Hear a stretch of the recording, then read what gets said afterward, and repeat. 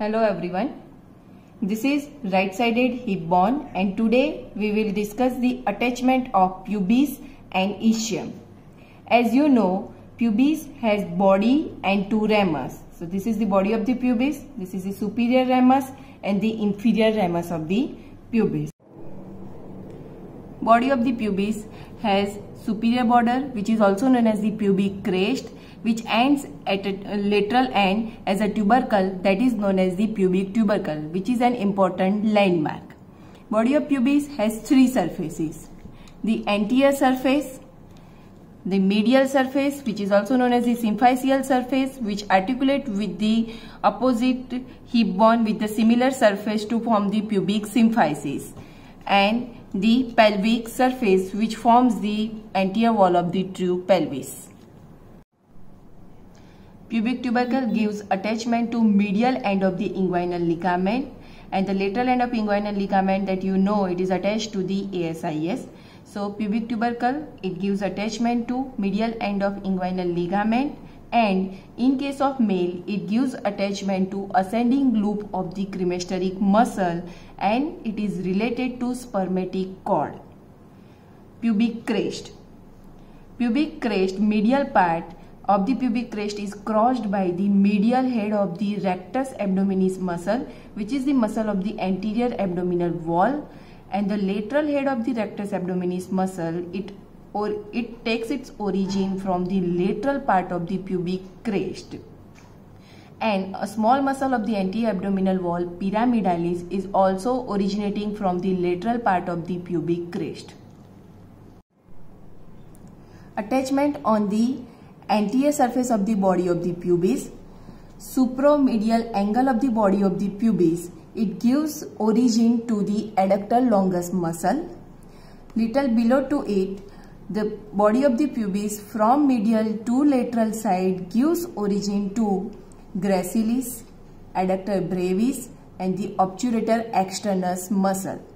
From medial to lateral, gracilis, adductor brevis and the obturator externus muscle. The medial margin of the body of the pubis gives attachment to anterior pubic ligament. Pelvic surface of the body of the pubis, it is related to the urinary bladder and it gives attachment to from medial to lateral side puboprostatic or pubovesical ligament, then the medial fiber of the levator ani muscle and near the obturator margin it gives origin to the obturator internus muscle. The symphyseal surface of the body of the pubis, it is covered with the articular cartilage and it articulate with the similar surface of the opposite bone to form the pubic symphysis. Now superior ramus of the pubis.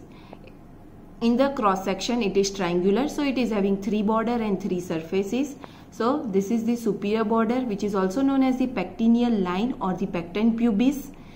Then the anterior border extending from pubic tubercle up to the acetabulum and the inferior border which forms the margin of the obturator foramen between the borders there are three surfaces. So between the superior and the anterior border is the superior surface which is also known as the pectineal surface. Between the anterior and inferior border this surface that is obturator surface. And between the superior and the inferior border this is the pelvic surface.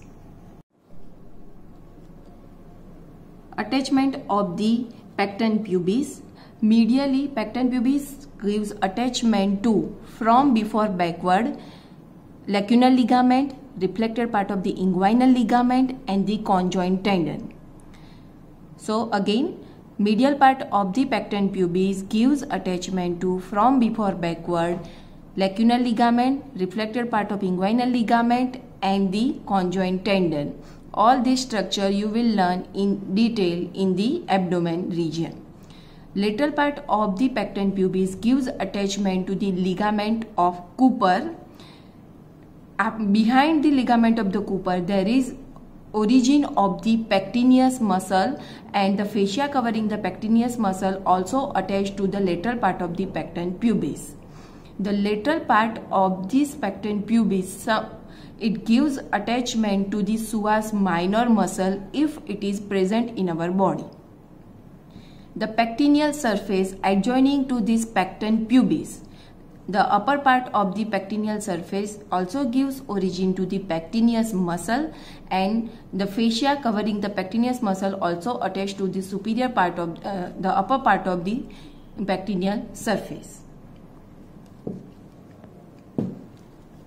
The inferior border which forms the upper margin of the obturator foramen it gives attachment to the obturator membrane so the obturator uh, membrane is attached to the whole obturator foramen leaving a gap at the upper supralateral part of this obturator foramen and this gap is known as the obturator groove for the passage of the obturator nerve and vessels. Now the pelvic surface of the superior ramus it is related to the ductus deferens in case of male and round ligament of the uterus in case of female.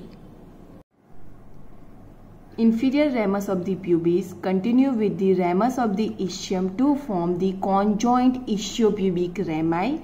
So the feature and the attachment of this conjoint ischiopubic rami we will discuss later. Starting with the attachment of the ischium. As you know, ischium it has three border, three surfaces. So first borders, the lateral border of the ischium, then the posterior border of the ischium and anterior border of the ischium. So anterior border of the ischium forms the margin of the obturator foramen. The posterior border of the ischium it continues with the posterior border of the ilium and the lateral border of the ischium that is formed by the lateral margin of the ischial tuberosity. So between these three borders now three surfaces.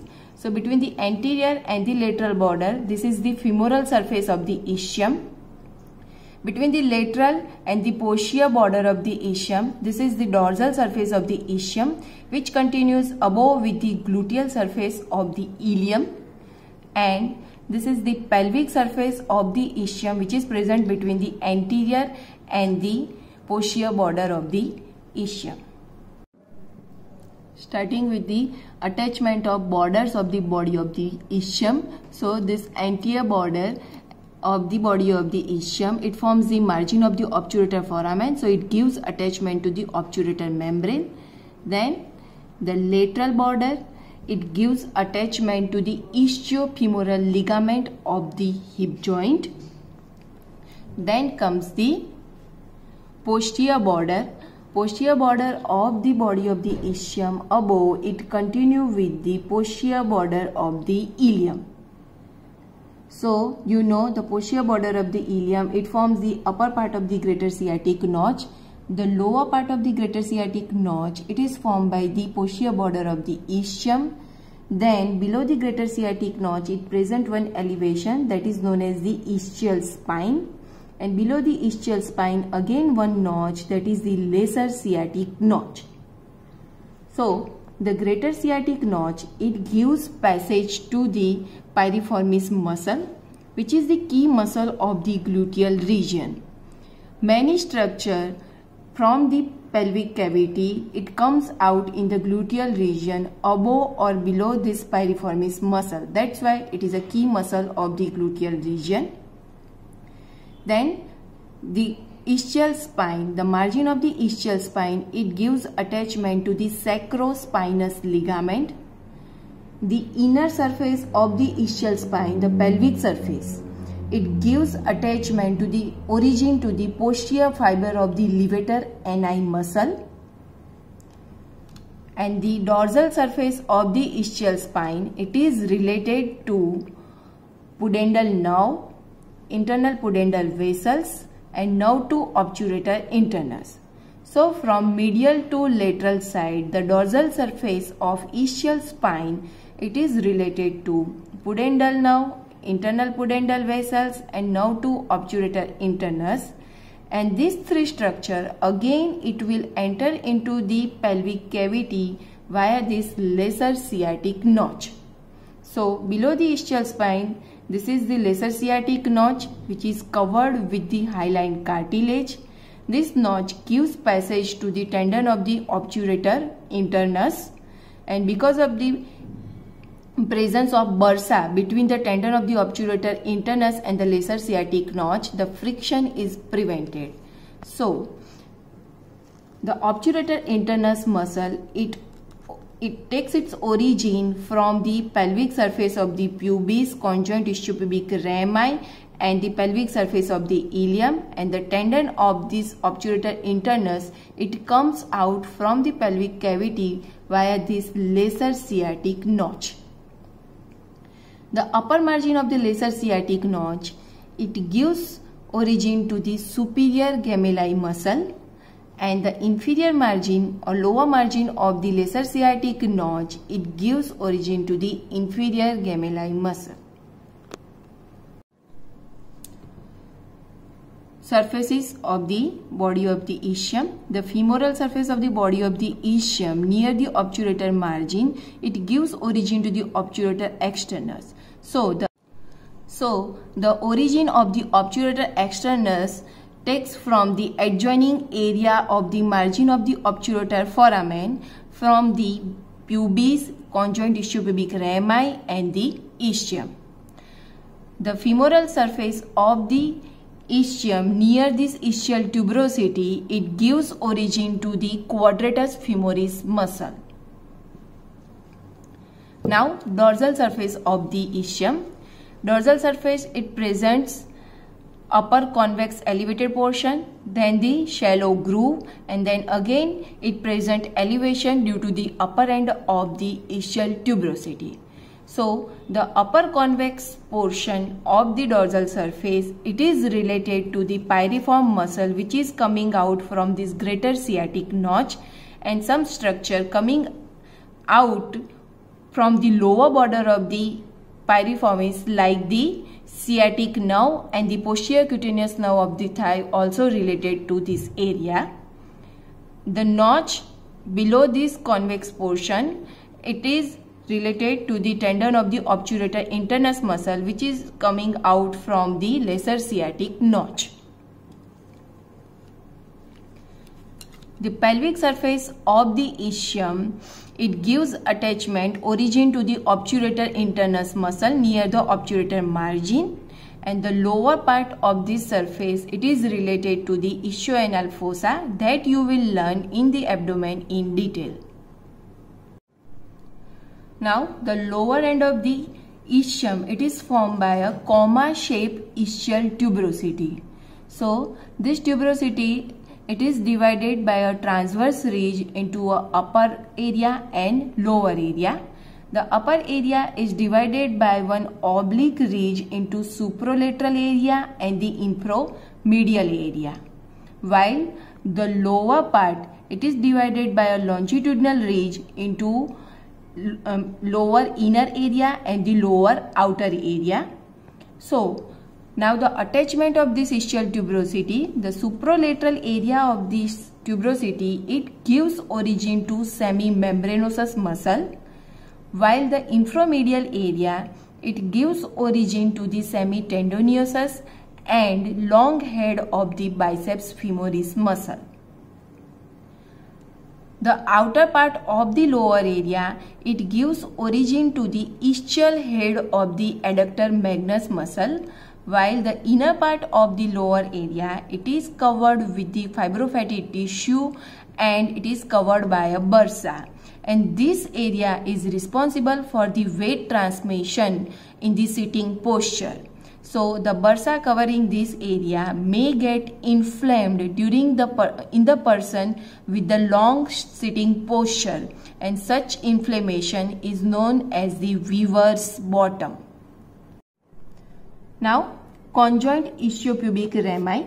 It is formed by inferior ramus of the pubis and ramus of the ischium. The junction of the inferior ramus of the pubis and ramus of the ischium is marked by one localized thickening. This rami, conjoint ischiopubic rami, it is having upper border, lower border, outer surface and the inner surface. Attachment of the conjoint ischiopubic rami. The upper border as it forms the margin of medial margin of obturator foramen, it gives attachment to obturator membrane while the lower border of the conjoint ischiopubic rami, it gives attachment to the fascia lata and Colles' fascia of the perineum along its whole length. The outer surface of the conjoint ischiopubic rami from medial to lateral side, it gives attachment to gracilis, adductor brevis and the obturator externus. And the adductor magnus muscle, it arises chiefly from the ischial part of the conjoint ischiopubic rami. So the adductor magnus muscle arising mainly from the ramus of the ischium. Adductor magnus muscle it is hybrid muscle. It's a muscle of the adductor compartment as as well as from the of the back of the thigh. So the adductor part of the adductor magnus it arises from the conjoint ischiopubic rami while the hamstring part of the adductor magnus it comes from the ischial tuberosity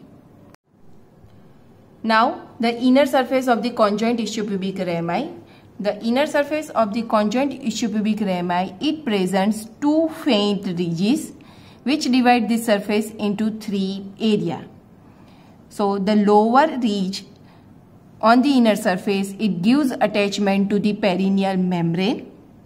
Now the areas, the upper area near the obturator margin, it gives attachment to the obturator internus muscle the middle area between the two ridge, it gives attachment to deep transverse perineal muscle and the lower area, it gives attachment to the ischiocavernosus muscle and the superficial transverse perineal muscle. All this structure you will learn in the detail in the abdomen region.